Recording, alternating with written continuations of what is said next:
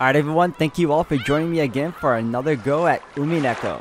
We are currently in uh, a point in the game where I'm at my most confused because we have Ava who found out about the, the gold and also as well as uh, Rosa. But the thing that confounded me the most is the fact that Inner Ava is able to make contact with Beatrice. I thought Inner Ava was just uh, a, a part of her personality. I didn't think it would turn out to be something much more than that. So I'm hoping this episode before it ends kind of goes into depth about it, you know? But anyways, guys, hope you all continue to enjoy. Thank you all for the love and support. You guys are the best. Let's go. Alright everyone, we are back. 先代に従い、称号とともにわらわの名、ベアトリーチェも、そなたに譲り渡す。今こそそなたが名乗るがよかろう。 Ava gulped. The chandelier light, which had seemed dim, now felt too bright. 我が名において、これより、黄金の魔女の継承を取り行おうぞ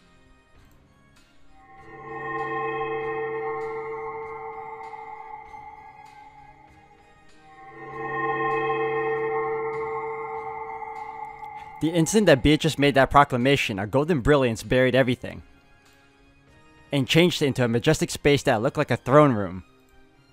In the throne room, there was a crowd of Beatrice's minions and brethren, as well as countless gold butterflies, celebrating this first succession ceremony in a thousand years.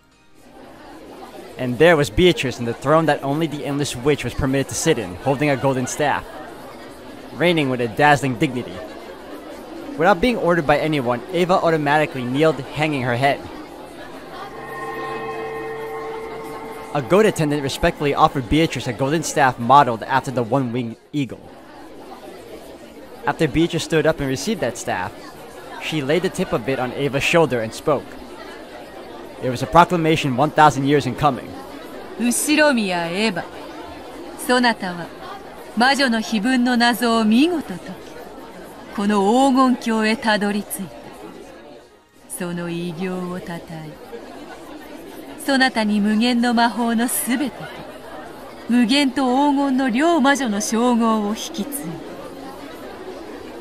そなたはこれより我が名ベアトリーチェを名乗るがよかろうさあ表を上げよそして立ちてこの杖を受け取れありがたき幸せ Oh, her name is now Ava Beatrice. That's so weird. Ava stood up dizzily and took the magic staff from Beatrice's hand. Her hand was trembling slightly.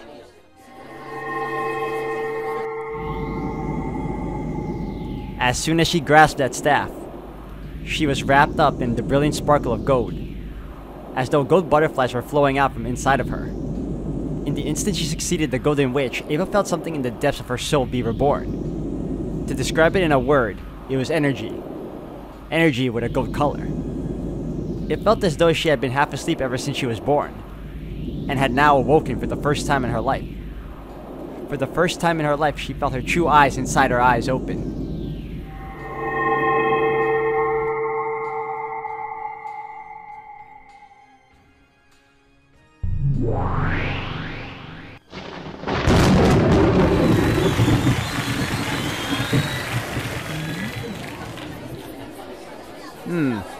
黄金の魔女にふさわしき美しき装いよさあ一同の者たちにそなたの姿を見せてやるがよいそなたこそが今や新しき魔女であることを知らしめてやるがよい Ava, no, the new Beatrice turned around timidly. When she did, the witch's minions, which filled the vast throne room, honored her with a wild applause that sounded like the roaring of the sea. さあ皆の者ベアトリーチェの肖像画を全て新しきベアトリーチェに差し替えよ。新しきベアトリーチェに祝いの言葉を捧げよ。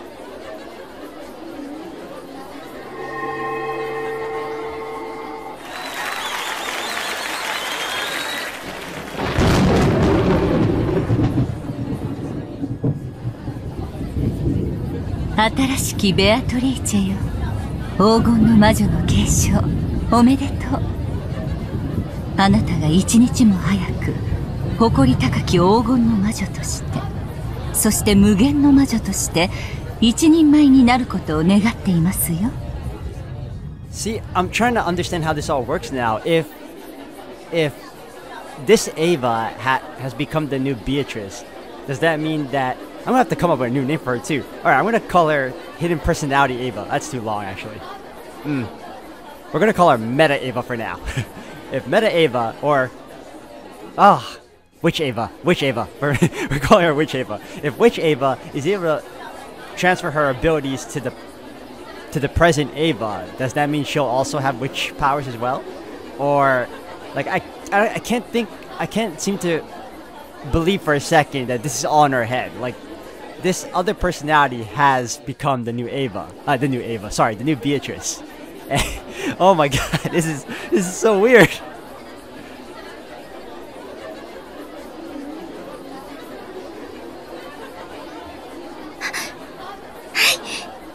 頑張りますやんちゃな先代と違いあなたには無限の魔女にふさわしい落ち着きを期待していますよ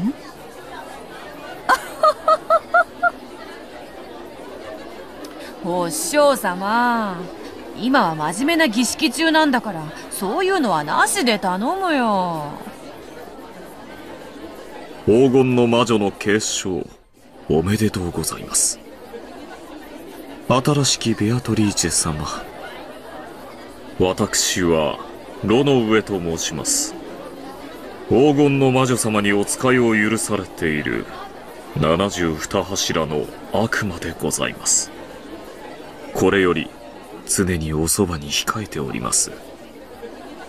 何か不自由がございましたらいつでもお申し付けください。ありがとう。ロノウェは口は悪いが頼れる男だ。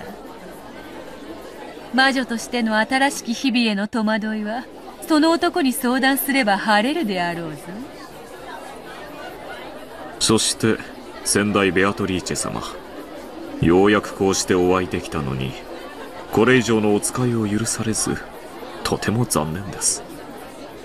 この千年間とても楽しく過ごさせていただきました。深く感謝いたします。うん。そなたとの千年退屈はなかったぞ。新しき魔女の世話。どうかよろしく頼む。ぞはい。先代ベアトリーチェ様の最後のご命令。この炉の上しかと聞き届けました。感謝しなさいよ。あんたの魔女継承の推薦人にサインしてあげたんだからね。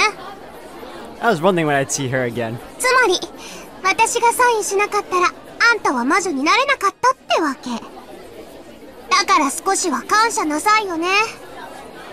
こちらは絶対の魔女ラムダデルタ教そなたの無限の魔女継承には元老院の魔女の推薦が必要なのだ。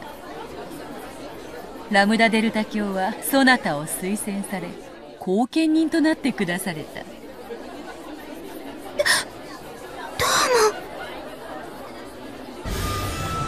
ちょっとベアとこの子感謝が足りないわ。やっぱ推薦やめる。推薦人は子供の使いじゃないでしょサインしたならきっちり責任取りなさいよ。ラムダデルタ教は絶対の魔女でもあられる。絶対の魔女は運命を強固にする絶対の運命を好まれるそなたの今日までの努力をとても気に入り高く評価してくだされたのだ。まあ不遇の少女時代と報われない努力にねちょっとだけ同情しただけなんだから。別にかわいそうだからとか思ったわけじゃないわよ。うぬぼれないでよね。つーんだ。私から見ればあなたの継承はまあ奇跡というよりは偶然ね私が推薦するには値しない。こちらはベルンカステル教とても気難しい御人でな。だがこうして参列し祝福してくれただけでも行幸というものよ。千年ぶりの珍しいイベントだから来ただけ。美味しいお酒も出るそうだし新しきベアトリーチェ様ぜひ私たちにもご挨拶させてくださいえあどうもはじめまして The seven sisters of Purgatory formed a line side by side. The eldest sister, Lucifer, took a step forward and kneeled. こやつらはわらわに使いし家具たち継承祝いにそなたに使わそうそなたには黄金の魔女を継承した後自らの復活の儀式を執り行ってもらわねばならぬ。Oh crap, she's gonna kill her family? その儀式において煉獄の七姉妹たちは欠かせぬ役割を果たす。くせ者揃いだが役には立つぞ。手足とするがよい。常にベアトリーチェ様のおそばに何事もお命じください必ずや遂行してご覧に入れます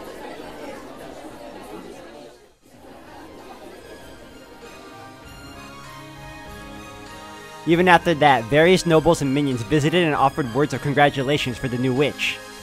As she responded to them confusedly, she felt as though she was getting lightheaded due to lack of oxygen.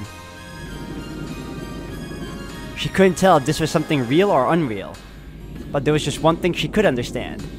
The feeling of achievement at being permitted to call herself the Golden Witch. That alone was a truth she could definitely understand.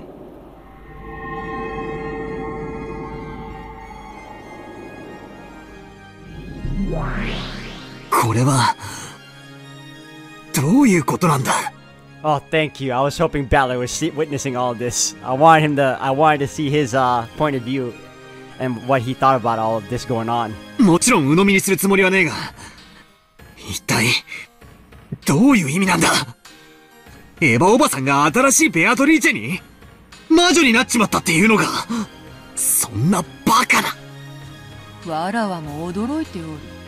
まさかあの碑文を解く者が現れるとはな。しかしそういうルールだ。わらわはそれにのっとり黄金の魔女の座と我が名を引き継がねばならぬ。驚かれるには値しますまい。お嬢様はもとよりそういうルールを手紙に記されて公示されております。エヴァ様がそれを最初に成し遂げた。それだけのことでございます。ワルゲリア、いるか？おりますとも。この茶番が意味するところは何だ？おかしな魔女たちが次々と現れる描写はあいつのざれ言だとしても、これじゃまるで、エヴァおばさんが魔女になっちまったみたいじゃないか。落ち着いて。黄金の魔女という称号が継承されあるいは以後自称するだけに過ぎません。この継承式はそれをあの子の解釈で演出したものに過ぎないに違いない同じ手に何度もかからないで Okay, I I kind of get what she's trying to say. So this is some, so she's not a witch as of yet, but it's something she may call herself in the future. That that's still a little questionable. I'm I need more specifics on that. そうだな。この盛大な式典は、すべてまやかしだ。だが、エヴァおばさんが碑文の謎を解いたことまでは事実。そしてそれは同時に、後宮家の家督を受け継いだことも指す。そして、10トンの黄金を得たということは、エヴァおばさんが黄金の魔女を自称してもいい。ということなのか。くそ。相変わらずややこしいことをしやがって So all of that was all figurative? is that what all that meant? やれやれ無粋なる人間には式典の総合さを介することもできぬか。まあよい。空気を読めぬのが人間というもの。そなたを哀れには思うが責めはせぬぞ。くそ。かわいそうな人を見るような目で見やがってだがとりあえず確認をする必要はある。それはあの若返ったエヴァおばさんみたいな分身。つまり新しいベアトリーチェとかいうやつの定義についてだ。あれは何なんだ？That's something I wanna know too. わらわがそれを語ろうとも。どうせそなたは魔法は信じぬ魔女は信じぬの一点張りであろうだからわらわから説明することは特にない。そなたが思う通りに信じればよい。俺が思う通りだと？じゃ、じゃあ、どう解釈すりゃいいんだ？後宮エヴァの内面的別存在の視覚化と今は捉えていただき差し支えないかと思いますよ that's pretty much I'm looking at right now. So I'm not that far from Ronov's perspective on this. もちろん、鵜呑みにはできませんが、今はそう理解するのが妥当でしょう。つ、つまり、エヴァおばさんも彼女も、同じ人物だと理解すべきなんだな。くそ、なんだか気持ち悪い展開になったぜ。そういうわけで。これよりベアトリーチェはわらわの名ではないぞ。後ろ宮エヴァに引き継いだからな。というわけでわらわは名なしだ。バトラー何かわらわに適当なふさわしき名はないものか。I knew it. She wanted Battler to give her like a nickname or some sort, a cute one too, I bet. そなたの推薦を受けるぞ何か上品で気品あふれてできればちょっぴりキュートな名前はないものかお前なんかベアとのまんまで十分だぜ。Just Beato's good enough for you. ベアトとベアトリーチェで十分区別つくだろ。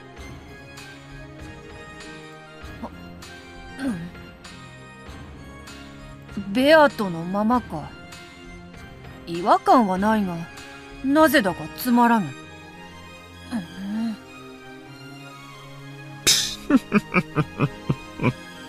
紅茶の温度と女心はいつの時代も難しゅうございますバトラ君とにかく以後は冷静にこの子がベアトリーチェだった時に比べれば現在の彼女は後ろ宮エヴァと判別がつくだけ私たちに状況は有利ですだからこそ、かえって気に入らねえんだがな。何を考えてるんだベアとのやつめ。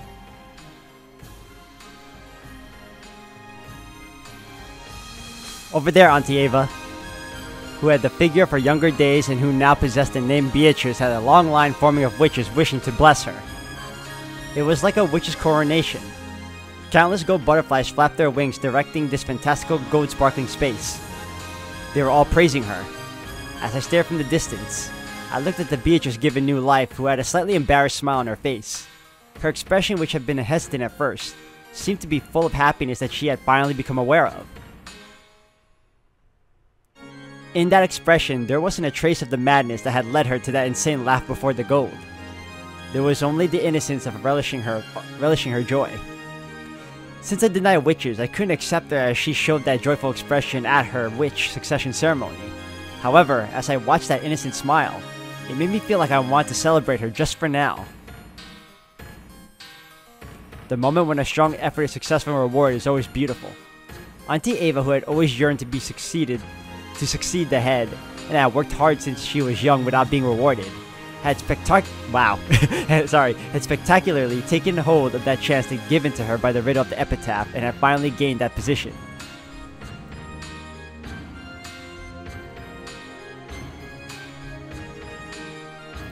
How divine is the smile of a person whose childhood dreams have been granted. I definitely won't accept witches. But, Ballard put his hands together, making a small sound. Oh, he applauded. It didn't reach her ears, but it did celebrate her. おめでとうよ。エヴァおばさん。 See, I would congratulate her if not the fact that Bieto had just told her that now she's the one that would need to perform the ritual to revive herself, which means I'm a I'm of the belief that the the sacrifices still need to continue, and she'll be the one doing it. I hope not. I hope I misunderstood that, but I think that's the case. You solved the riddle of the epitaph masterfully, and before anyone else. It's your victory without any complaints. I won't accept all that about the Golden Witch and so on, but I will accept you as the new head of the Ushidamiya family, and I will celebrate you honestly. hmm. As though lured by Battler's applause, Bieto also clapped. It was a slightly odd scene, because Battler and Bieto, who opposed each other, were standing next to one another applauding for the same person. 魔女に拍手してるわけじゃねえぞ。 エヴァおばさんの、これまでの努力に拍手してんだぞ。わらわもだぞあの碑文を見事に解いたエヴァに対し率直に祝福の拍手を送っておるお前と一緒に拍手してるってのが気に入らねえが。ま、今は気にしねえことにするぜ。たまにゃ、お前と一緒に拍手しても罰は当たらねえか。たまにはオツであるな。しかし拍手って楽しいな。成し遂げたのはわらわではなくエヴァであるというのになぜかこっちまで嬉しくなってきおるわ。祝福するってことは、その喜びを共感する、共有するって意味だからな。なるほど。ではこのわけもなく嬉しい気持ちはそなたとも共有できているというわけか互いを屈服させようとする敵同士でありながらこれはキーな体験よま、今だけは休戦で手を叩こうじゃねえか。Bieto laughed impishly, playing around and applauding even louder, as though eagerly trying not to lose to Battler as she clapped. Battler went along with her and clapped even louder. And when he did, as though he had ended some kind of ceremony, everyone present put their hands together in loud applause and highly praised the newly born Beatrice. It was just as though Battler's and Beatrice's applause had been the final thing needed for her succession.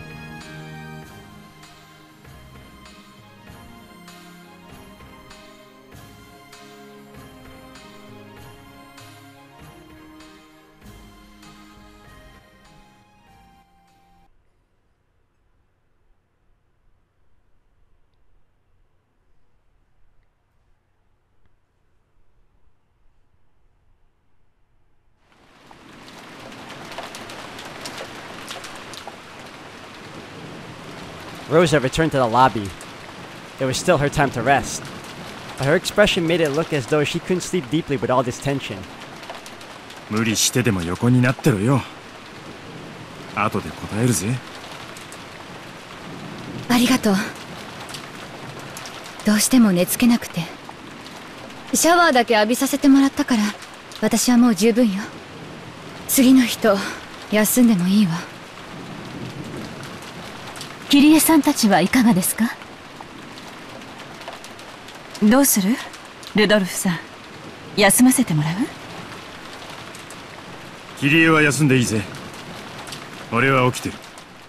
それくらいしか男らしいことができねじゃあ起きてるわ。夫と一緒に起きてるくらいしか女らしいことができないから本当に仲のおよろしいことで。夏日さんこそね。エヴァと秀吉さんはぐっすりみたいじゃないか。やはりローザと違い年には勝てんね。As though in response to those words, the door to the hall clunked open. Ava and Hideyoshi returned from the guest room. 余計なお世話よ。あらローザ。もう休んでなくていいの？姉さんこそ。無理しないで休んでたら？なんだか寝つけなくてね。シャワーを浴びたら眠気が覚めちゃったわ。ルドルフたちよかったら休んでいいわよ。おうサンキュー今は気持ちだけでいいぜ。兄貴たち先に休んだらどうだ？ありがたいね。だが先に休むわけにはいかん。それくらいしか長男らしいことができないのでね。私たちは最後まで起きていますのでご心配なく。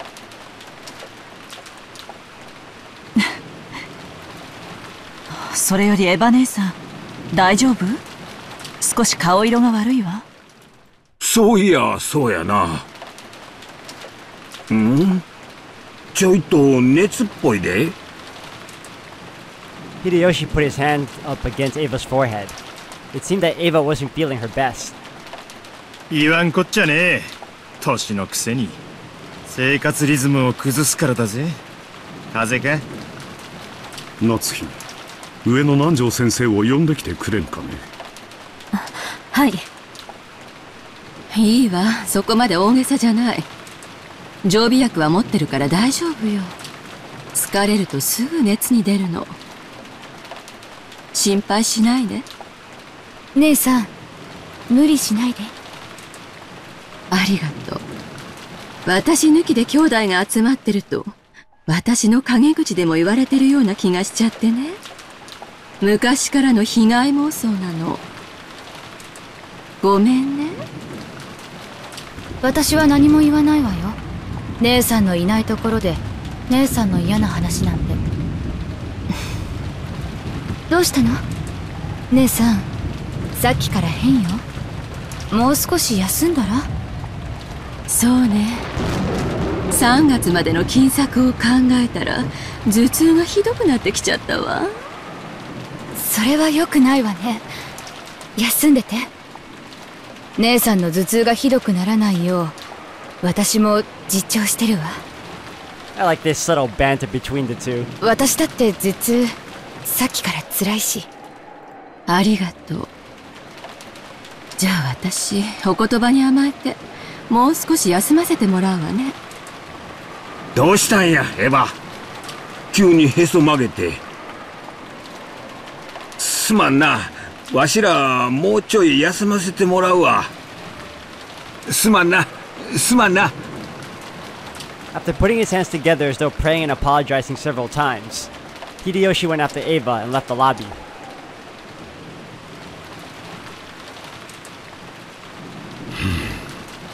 空気が悪いなどうにもギスギスしている無理もない早朝に殺人事件それからずっとここで銃を抱きながら缶詰ですものストレスが溜まって当然ね上の子たちもだいぶストレスが溜まってるんじゃないかしらマリアが心配だわこういう時は感触を起こしやすいの Just then, they heard the sound of wild footsteps from upstairs. The guest house was in a cheap building, so if they had been any norm- normal footsteps, there was no way they would have heard them. It was like the sound of someone stamping their feet in frustration. And not a moment later, in addition to the apparent sound of feet running out into the upstairs corridor, they could hear Maria calling ooh ooh ooh over and over again, sounding displeased.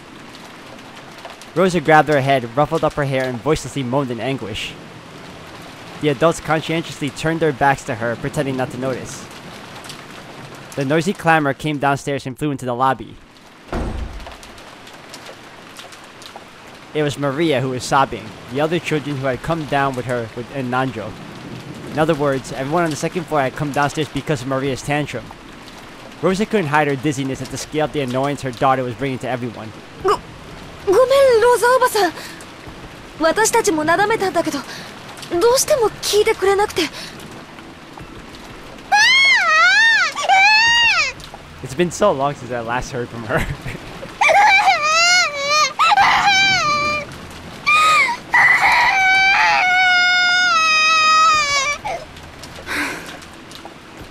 どうしたのマリア少し静かにしなさいみんな見てるわよ例のバラ庭園のマリアのバラ